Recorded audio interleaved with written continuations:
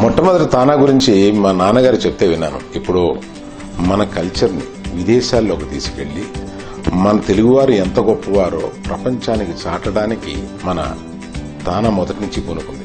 అక్కడ పుట్టి పెరిగిన వారికి మన దేశంలోని సంస్కృతి ఏంటి ఈ తరం వారికి చెప్పడానికి దీన్ని తీసుకున్నారు అని అనిపిస్తూ ఉంటుంది. సివాలెట్ సెంట్ లూయిస్. ఎల్లలు లేని తెలుగు ఎప్పటికీ వెలుగు.